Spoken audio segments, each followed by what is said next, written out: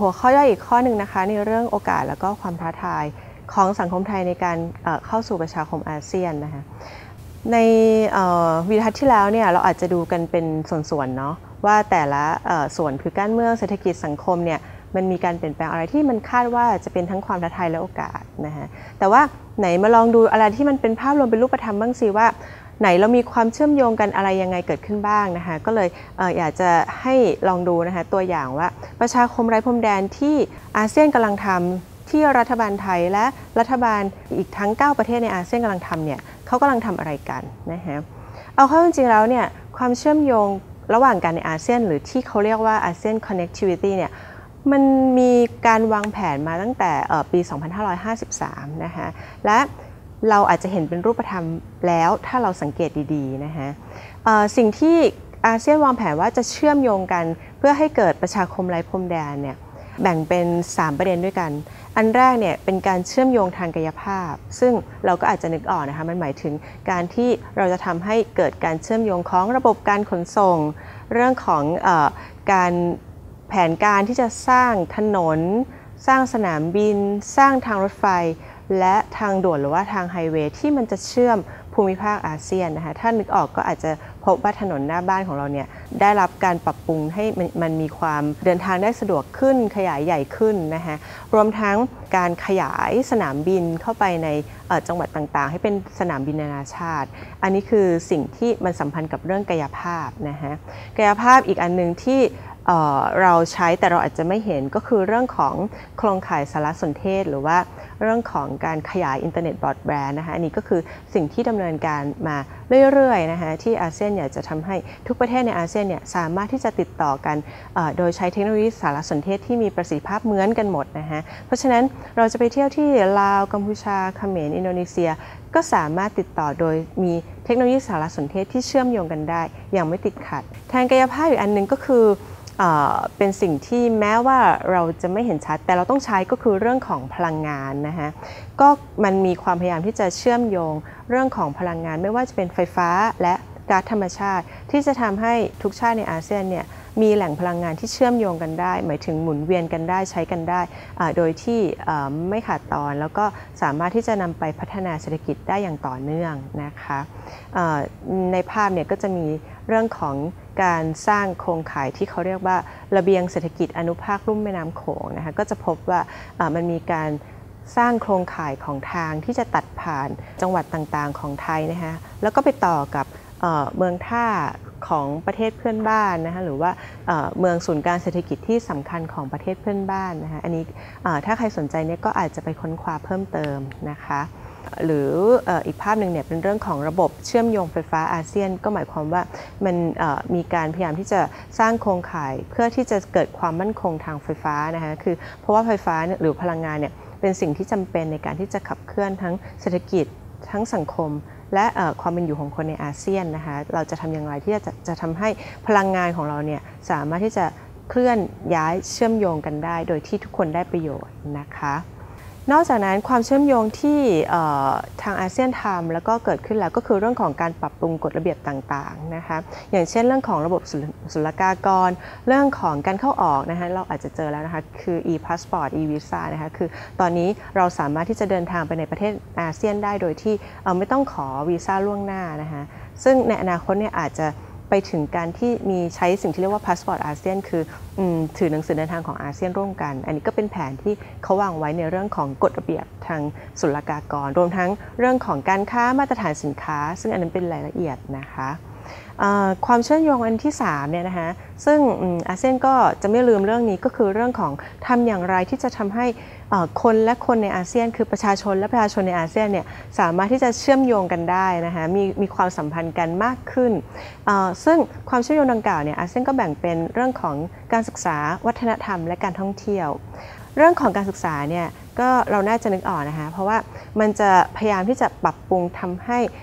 เกิดการเคลื่อนย้ายของนักศึกษา ไปในประเทศในอาเซียนได้อย่างง่ายขึ้น หมายถึงทำให้ทุกประเทศในอาเซียนเนี่ยมีมาตรฐานการศึกษาที่สามารถถ่ายโอนหน่วยกิจกันได้นะฮะเพราะฉะนั้นถ้าเราสังเกตดีๆในมหาวิทยาลัยของเราเนี่ยก็จะมี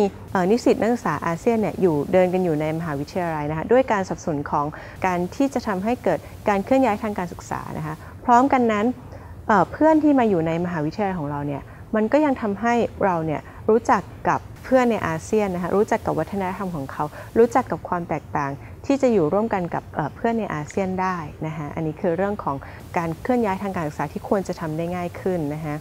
สิ่งหนึ่งที่มันจะกระทบกับเรา แล้วก็เราไม่เข้าใจว่าต้องทำก็คือทำไมเราต้องเปิดเทอมตามแบบอาเซียนใช่ไหมคะอันนี้ก็คือเป็นนโยบายมาตรการหนึ่งที่จะทำให้เราสามารถที่จะเคลื่อนย้ายไปศึกษาในดินแดนประเทศต่างๆ ในอาเซียนได้ โดยที่ไม่มีข้อติดขัดนะคะนอกจากนั้น ในเรื่องการศึกษาเนี่ยมันยังรวมไปถึงการพยายามให้ความรู้ในเรื่องของประเทศอื่น ๆ ในอาเซียนนะคะว่าเขามีวัฒนธรรม มีประวัติศาสตร์ มีความเป็นมาอย่างไรนะคะรวมทั้งภาษาที่ประเทศในอาเซียนใช้นะคะนอกเหนือจากภาษาอังกฤษ ซึ่งมันจะกลายเป็นภาษาทำงานของอาเซียนที่จะได้รับการสนับสนุนส่งเสริมในสถาบันการศึกษา ซึ่งอันนี้ก็เป็นสิ่งที่นิสิตนักศึกษาและผู้สนใจก็อาจจะได้เห็นอยู่แล้วนะคะว่าในแวดวงการศึกษาในมหาวิทยาลัยของเราเนี่ยมีการตื่นตัวที่จะทำให้นักศึกษาเนี่ยรู้จักภาษาในอาเซียน ใช้ภาษาอังกฤษได้ดี อันนี้เป็นส่วนหนึ่งของการเชื่อมโยงกันของคนในอาเซียนนะคะ นอกจากนั้นก็คือเรื่องของทำอย่างไรเรื่องของการท่องเที่ยวนะคะคนจะกับคนจะมาเจอกัน ก็คือทำอย่างไรที่จะทำให้นักท่องเที่ยวในอาเซียนเนี่ยสามารถที่จะไปท่องเที่ยวในที่ต่างๆ ในอาเซียนได้ โดยที่มีข้อติดขัดน้อยที่สุดนะคะเราก็จะเจอนักท่องเที่ยวที่เข้ามา ในอาเซียนได้ง่ายขึ้น เหมือนกับที่บอกไปแล้วเนี่ยนะคะว่า ตอนนี้เนี่ยมันมีข้อตกลงที่เราสามารถเดินทางไปในทุกประเทศในอาเซียนได้ โดยที่ไม่ต้องขอวีซ่าก่อนนะฮะก็คือสามารถที่จะเดินทางไปได้ แล้วก็ไปขอวีซ่าที่ตมหรือว่าด่านตรวจคนเข้าเมืองของแต่ละประเทศได้โดยทันทีนะคะนี่ก็ง่ายได้ เพราะฉะนั้นอันนี้เป็นถามว่าเป็นโอกาสไหมที่เราจะได้เรียนรู้ประเทศเพื่อนบ้านนะคะเป็นโอกาสที่เราควรจะ หาเวลาแล้วก็หาความรู้เพิ่มเติมเพื่อที่จะทำให้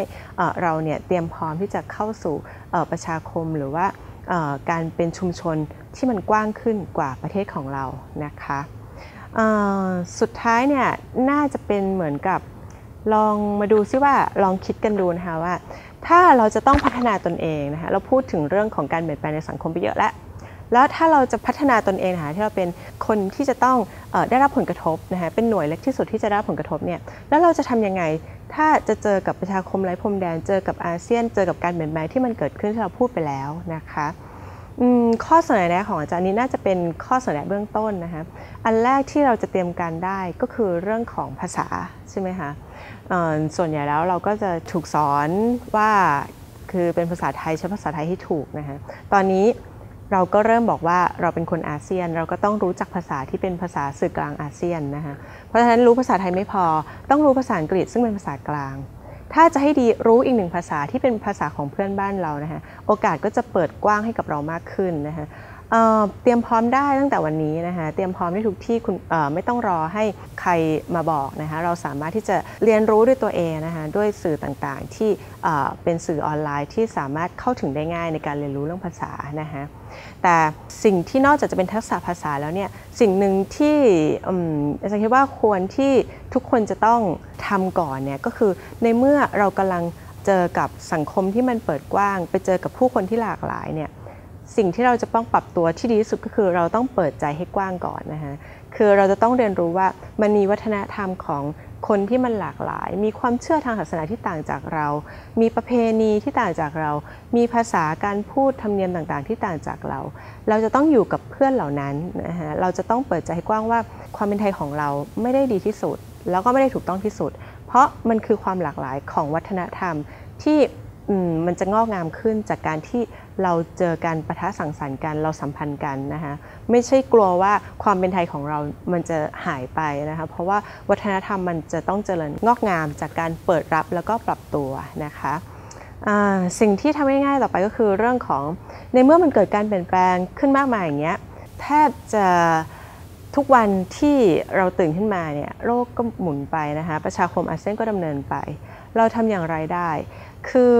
ตื่นมาเราก็ต้องเปิดรับข่าวสารติดตามความเคลื่อนไหวใช่ไหมคะว่ามันเกิดอะไรขึ้น อันนี้ก็คือสิ่งที่เราทำง่ายๆ แทนที่เราจะไม่สนใจกับโลกรอบตัวนะคะลองลุกขึ้นมาแล้วก็ดูติดตามข่าวสารว่า เพื่อนบ้านของเราเขาทำอะไรกันแล้วนะคะที่ฟิลิปปินส์เขาทำอะไรกันแล้ว เพื่อที่จะทำให้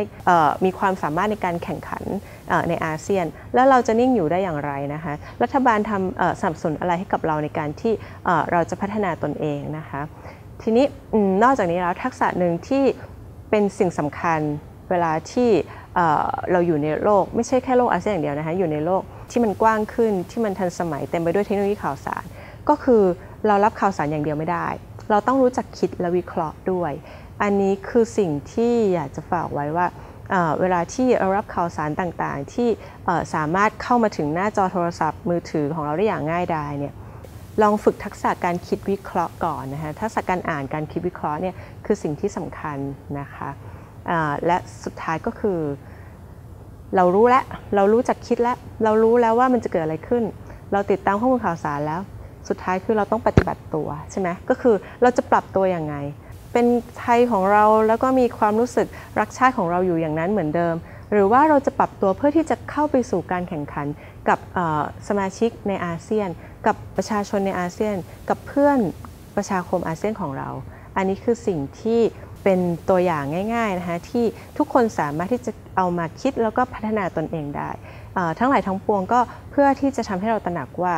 การเข้าสู่ประชาคมอาเซียนเนี่ยมันมากระทบกับตัวเรานะคะกระทบกับวัฒนธรรม กระทบกับสังคมไทยเราอย่างหลีกเลี่ยงไม่ได้ และเป็นหน้าที่ที่เราต้องเตรียมการพร้อมรับมือกับประชาคมอาเซียนดังกล่าว นะคะหลังจากวิดีทัศน์นี้นะคะ ส่วนสุดท้ายเนี่ยก็จะเป็นข้อมูลเล็กๆ เกี่ยวกับเรื่องของการเคลื่อนย้ายแรงงานเสรีในอาเซียนนะคะว่ามันมีประเด็นที่มีรายละเอียดแตกต่างไปจากความเข้าใจที่มันเกิดขึ้นในสหภาพยุโรปอย่างไรและ ถ้าเราต้องการที่จะเป็น ส่วนหนึ่งของการเคลื่อนย้ายไปทำงานในอาเซียนเนี่ยมันมีอะไรบ้างที่เราจะต้องรู้ มันมีกฎระเบียบอะไรบ้างที่เราจะต้องทำนะคะอันนี้เป็นเนื้อหาที่ฝากเอาไว้นะคะ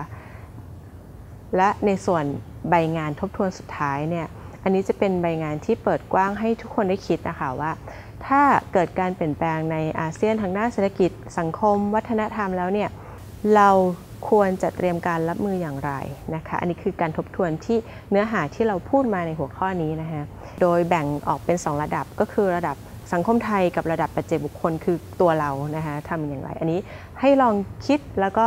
ให้ความเห็นออกมานะคะช่วยกันคิดออกมาว่าเอ๊ะแล้วเราจะทำอะไรเพื่อที่จะเตรียมรับกับการเข้าสู่ประชาคมอาเซียน ซึ่งเกิดขึ้นแล้วนะคะและมีผลกับเราแน่นอนนะคะนี่ก็คงจะ จบบทเรียนนี้ตรงนี้นะคะ